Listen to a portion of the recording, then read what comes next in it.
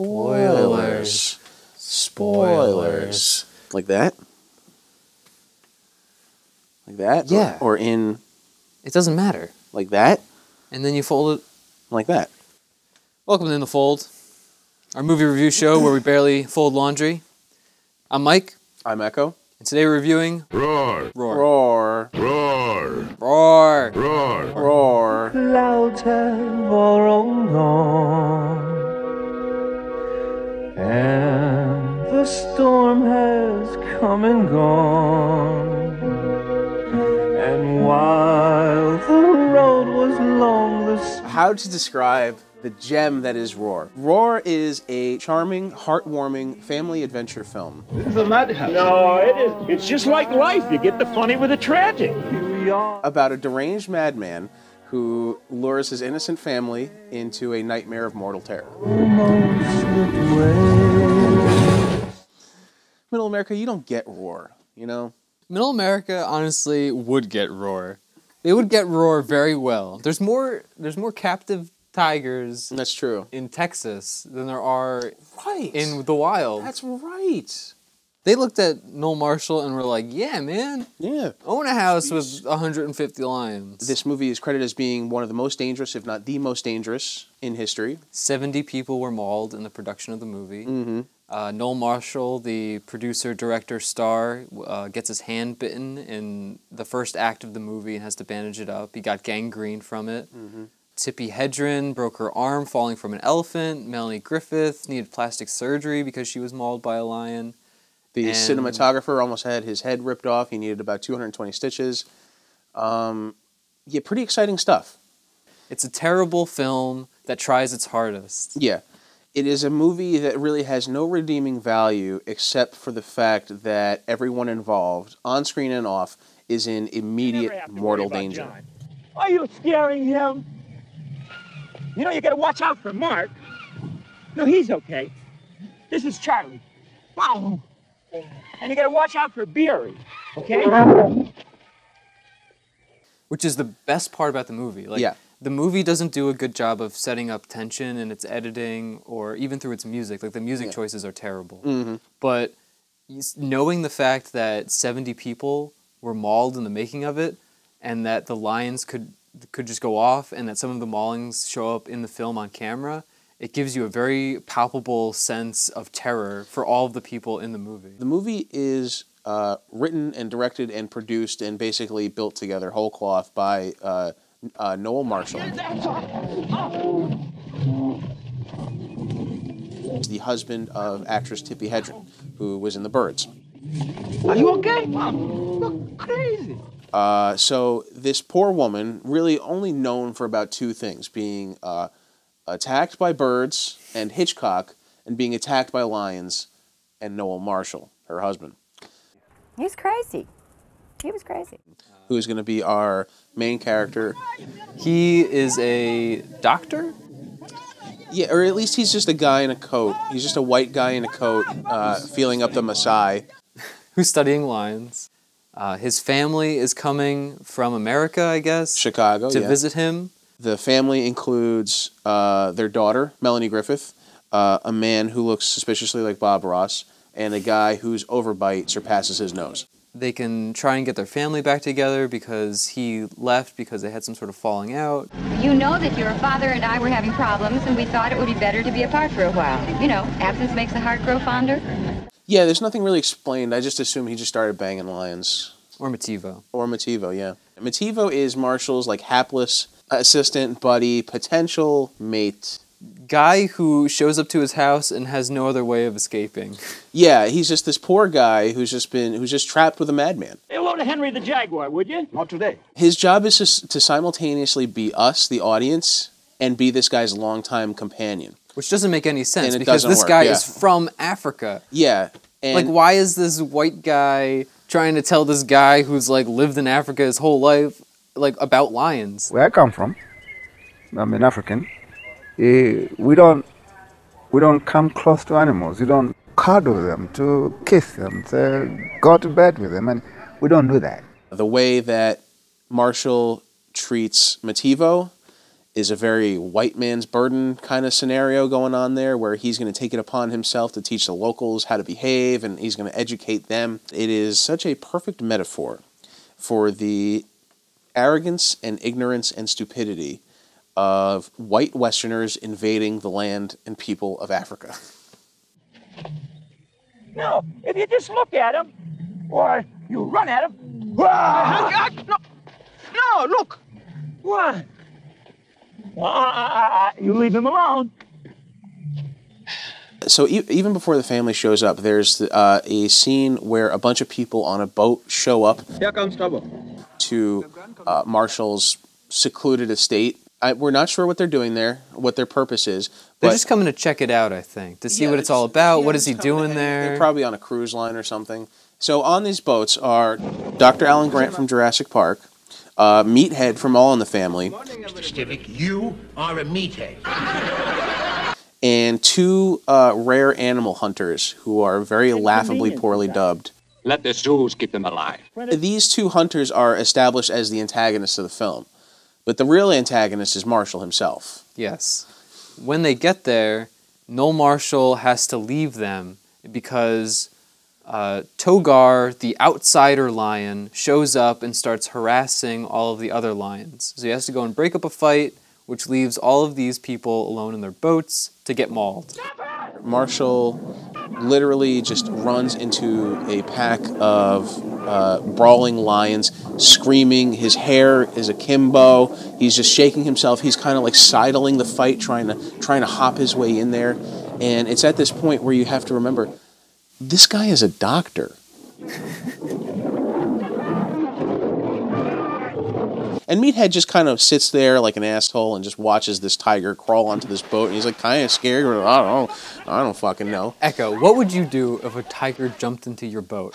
I mean, I guess I really wouldn't have behaved much differently, I admit. But like, Especially if I was on a film, you know, like if I was an actor and I was like, "Oh, this tiger jumps in my boat." I uh, nobody told me that I should leave the boat. a few minutes later, he ends up out of the boat and in the water, and he's got his face is all torn to pieces. He's got heavy lacerations, very real blood. And then Marshall's yelling at him, "Oh, well, where you going?" It's just a scratch. Yeah, just a, uh, this is my third face. Where are you, you fucking pussy? Oh, what the hell's wrong with you? All you got's a few scratches. Let's talk about the, the lions for a minute. Now, some of the lions actually get their own s- cast in screen credit. You know, they show them in the beginning, even though, except for one, you really can't tell any of them apart. God, Togar, why today of all days? It took so long to make because they had to become a part of the pride of the lions. They had to bring the lions into their homes. It's not your normal pre-production phase. No. You have to literally ingratiate yourself, ingratiate yourself into a culture of, of animals. However, as soon as the, the trainers for these Hollywood acting animals heard that we were going to have maybe 25 or 30 big cats working together, they, they laughed at us and said, This can't be done. This is, you know, this, because of instinctual dictates to fight. So throughout the whole movie, randomly, just lions just break out into fighting. And some of them have awesome kick-ass lion-style names like Togar, and then other ones are named Gary. Charlie, Johnny, Robbie. Yeah, and Marshall kind of comes up with the whenever there's a fight, that he comes up with these explanations for why they're fighting, and it's like you can. T- it's like this is a guy who's clearly just lost his mind. He spent way too much time in the brush with these lions, and his his brain is coming apart. While it sounds ridiculous, it makes a, a little bit of sense. I know, yeah. And it's and that is the part where I feel like they wanted to tell you about lions and try to get you to like lions. But you're listening to this guy who already you just ha- has zero credibility because Yeah. he's gotten his hand uh, like bitten through. he's in the middle of saying that these the, these lions are gentle creatures and they need to be protected, and he's in the middle of being mauled by a tiger when it happens. Um, so we're the synopsis. We still have the are we still at the synopsis? Because the movies we do on the show, you can't describe that succinctly. so the the family's coming to Africa, but uh, they sort of have this uh, dilemma where they miss each other. Noel Marshall tries to take a boat to see his family. Uh-huh. He invites a couple tigers along with him in, for the journey, along with Mativo. Why not? And uh, just like in the, the, the first scene with the tigers jumping into a boat, they eventually sink the boat. So now you got Noel Marshall, two tigers, and Mativo that are trying to get to the airport to pick up his family, who have already hitched a bus back to his house. So they they both miss each other, and the family gets to the house and doesn't know what to do with all these lions, and Noel Marshall has to make his way back to the house to save his family. When they arrive, the house is very suspiciously quiet, as though all the lions and the tigers and all the cats have decided to just play like a big prank. Hank? Dad? We're here. Uh, and the rest of the movie plays out like this kind of nightmare scenario where this family is is trapped in this house in the dumbest of ways, doing the dumbest of things, um, but with very real mortal terror.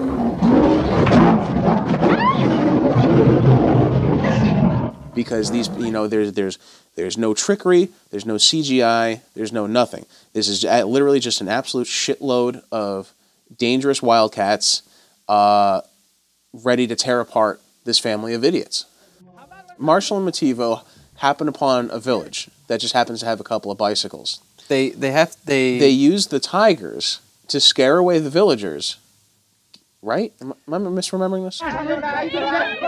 It just looks like Noel Marshall shows up with the two tigers, and the whole village runs away terrified. and then they just steal the bikes. And these are probably the only things that this this village actually has. I mean, it doesn't really seem like they have water. They don't destroy the bicycles. What Noel else- Marshall just runs into Mativo and destroys his bicycle. Yeah. Mativo runs up a tree. Then he's then Noel Marshall says to him, "Well, we can't go anywhere because the tigers are going to follow me if I if I try to if I try to leave. So, why don't you dangle yourself from the tree and try to get the tigers' attention to play with you?" Mm, not today. The way the way that Marshall treats Mativo is seriously uh, uh, upsetting. And Mativo just gets the short end of the stick every single time. Uh, he loses his jacket. Not my jacket. Not my jacket. That's my jacket. Leave that alone. That's my jacket. He makes him distract his tigers while he can run away twice. He's not he's not good to Mativo at all. No, it's very upsetting the way he treats Mativo. This is supposed to be his closest confidant, assumably. He finally gets to the airport and realizes that his family is not there. So then he borrows this guy named Leonard's car, which could just be a made up name that he gave this person. We don't really know. He comes back to Mativo, and then he doesn't even give Mativo a seat in the car. He gives the, the Tigers the back seat and makes Yeah. Mativo ride in the trunk. Yeah. The Tigers destroy the boat, they destroy the bicycles, and they destroy the car. Mm-hmm. Ah! Poor Leonard. So now they have to walk the rest of the way, and he gives Mativo an umbrella to fend off the tigers. Just fend them this. off. Pull it like that.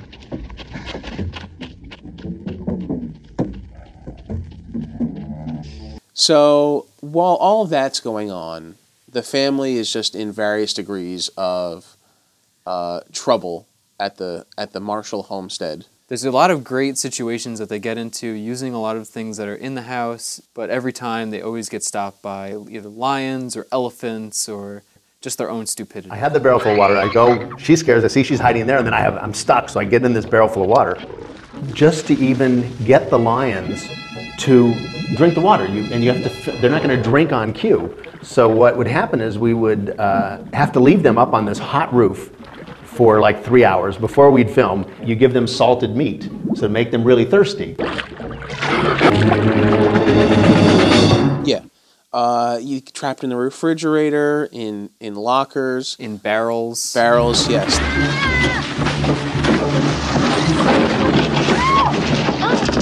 There's even like any good movie, like any mo- movie worth its admission, there is a section of the film dedicated specifically to sweet bike stunts. Sweet bike stunts. Yeah. Eventually, they find a motorbike and they literally drive it into and around and on top of the house. Yeah, there's perfectly placed ramps all around this house Yeah. that allows him to go from the bottom floor all the way up to the roof with this motorbike. I love any movie that has convenient ramps.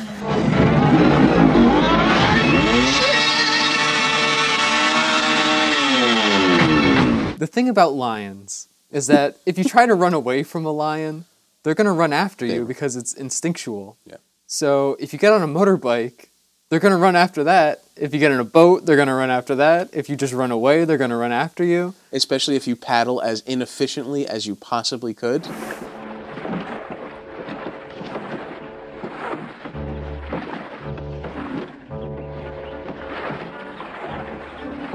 Not even paddling, just. it's like th- that's the funny. The funny thing about this movie is that if it actually were shot competently and performed competently, it would actually take away from the tension Yeah. because if it because if it was if it was well produced, there would be all this opportunity to accuse it of fakery and phoniness. But the fact that they're acting so stupidly allows the tension, ironically, to ramp up. At one point, one of them manages, in the middle of all this ruckus, uh, to take a nap. Right? It's uh, Tippi, Yep. and a thing of honey pours on her. Which is a total missed opportunity. It's really great, but it doesn't go anywhere. Yeah, you think like, oh boy, this is going to be the part where she literally gets eaten.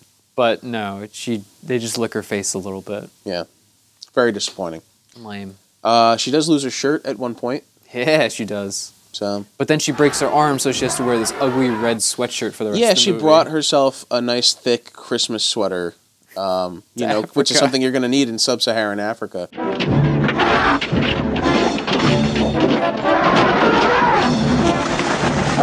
The elephants in this movie are the angriest elephants I have ever seen in my life. They don't life. fuck around.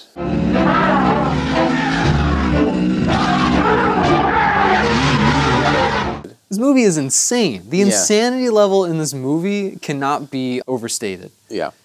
This man is running around all the time, bloody, sweaty, screaming. Often pantsless. Uh, he's making light of everybody's injuries. Mm-hmm.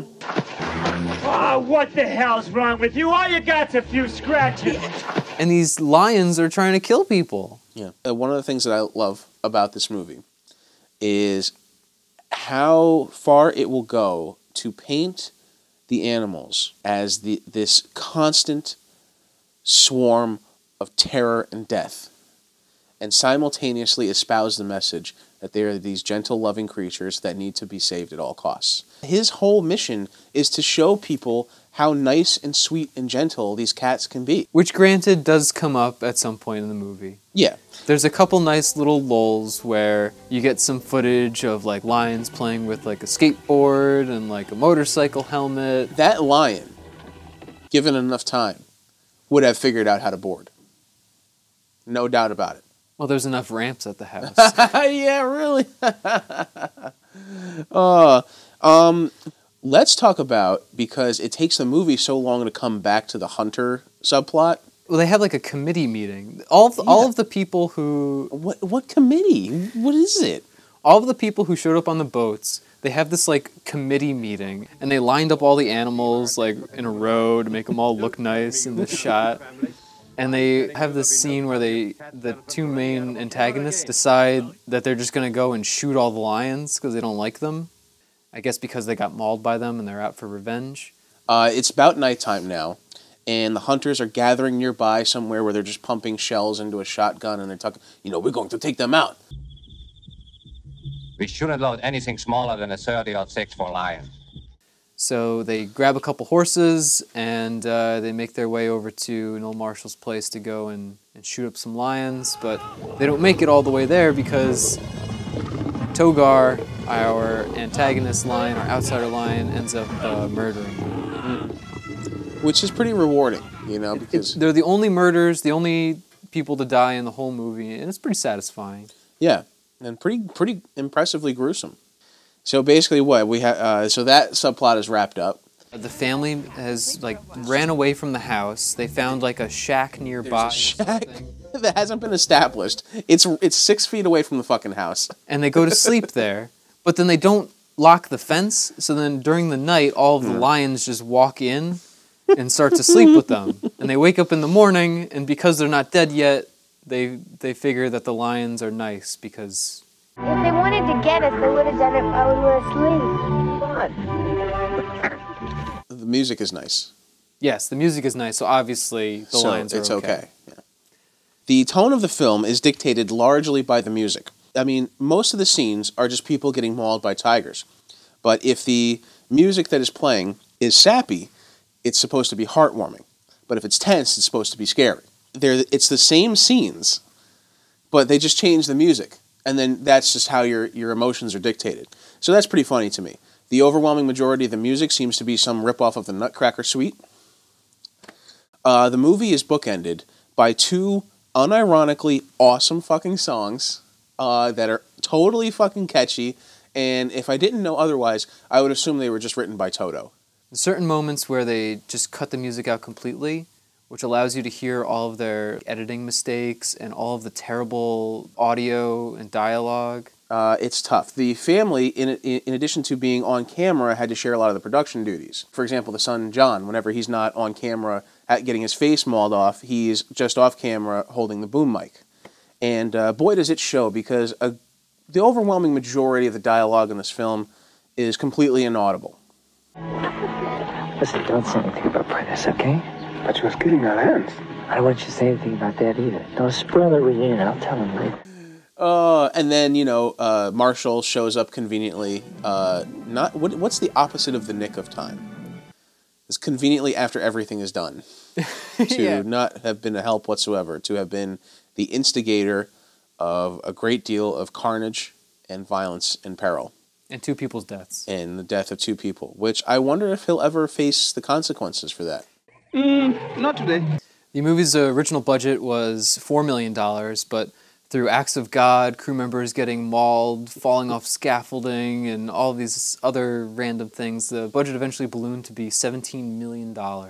Which in 1980 is a huge chunk of change. For especially an indie, an indie project, it's Yeah. basically a passion project by Noel Marshall and his family. But this was the era too of movies uh, being led by auteurs and their and their budgets ballooning wildly out of control. You know, Apocalypse Now, uh, Heaven's Gate. You know, this was the era for that. Mm-hmm. You know, and you could just do that. You could just be a psychopath and walk into a movie studio and be, hey, I got a fucking shitballs idea, and you're just going to give me millions of dollars to do it. The reason the movie was made in the first place was because Tippi Hedren and Noel Marshall really liked lions. It was always so beautiful to, to, to go to the game preserves when I had time off and see the animals running free and working with each other and against each other, just doing you know what they do to make a living. They saw this this house with that was full of lions that were just living free and li- together, and they wanted to put it on film and to teach people that lions aren't that bad and we should respect them and we should show disgust for people who wear animal furs. The message of the film is already pretty heavy-handed. Yeah. Uh, but Marshall takes an opportunity in the beginning credits and in the end credits to send a very snotty message about uh, how you should show your shame and disgust for people that wear fur, and it's a very pro-animal message, which is fine, and I and I, I sympathize with it c- completely. But they're just real fucking snotty about it. They, they want you to go out and protest in front of stores that Yeah. sell The- furs. The credits have a things you could do list, which uh, fuck yourself. Sorry. This movie would never be made nowadays. No. Inside of this pretty stupid movie is a really fascinating documentary about a family living amongst lions and the deranged madman that is just the ringmaster of this nonsense. There's actually a wealth of behind the scenes footage where they show the Marshall family just fraternizing with the Lions. It was uh, amazing to have grown up with and lived through. It probably gave them insights to all kinds of things that don't usually happen to young people. And that seems to to be what they wanted to communicate. Yeah. But they went with this narrative uh, that bafflingly, confoundingly contradicts what they were trying to communicate. There were very few people that made it all the way through the film. The movie takes place in Africa, but for the majority of the movie was actually shot in Southern California. At Marshall's Ranch. At Marshall's Ranch. Uh, but they do have a lot of great like B-roll footage. Like they spent like I think a couple days in Africa just shooting like giraffes running and a lot of really cool animals. So there is some great shots of like wildlife in this movie. The cinematographer on this was Is Jan de Bont. He shot Die Hard, uh, The Hunt for Red October, Black Rain, um, Lethal Weapon 3. So these are all movies I'm intimately familiar Speed, with. right? Uh, he directed Speed, actually. directed Speed. Directed Speed and Twister. And Twister. And Twister. Great. So this guy really knows his way around kinetic action. It lists him in the credits as like a camera operator, so I'm pretty sure the actual, the real DP that showed up for the first day was Eaton, and he just worked his way up. Yeah, I think you're right. Ironically, after 12 years of making this this film through suffering through lions and maulings and all this hardship, and the fact that the movie is about a family coming together, a year later, Tippi and Noel divorced. Yeah. So sad. Tippi, you've had a, gets you- it rough. Yeah, you had a rough ride, ma'am, and I just you have my sincere sympathies. Birds and lions and Hitchcock and Marshall. Fucking rough run. My heart goes out to you. And now you have to suffer this review. Yeah. uh, For a while. You know, absence makes the heart grow fonder. Uh, each and every scene has something to talk about. Uh, so we did, we did not uh, do this movie enough justice. no. you could talk about this movie for literally hours. You Yeah. can you can theorize about why they did it, why it was made, what they were thinking. Just a fascinating watch. Yeah. I would recommend this movie to everyone. I don't think you can not like this movie. It's got lions, it's got a great backstory, and I think that it's just a movie that's so insane that it'll keep you entertained for every single scene. Yeah, I have to agree. Uh, it is, after all, a family adventure film. So I recommend this movie for all ages. Uh, it's got something for everyone. It's got it's got action. It's got excitement. It's got cuteness with the animals, um, tension, danger, real danger, like the kind of danger that you don't really see in most movies, uh, and insanity. I can't recommend it enough, especially for young children.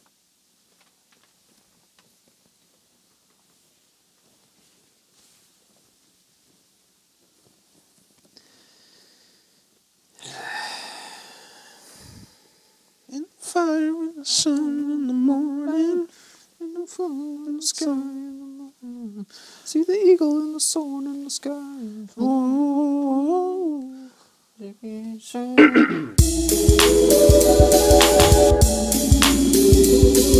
Oh.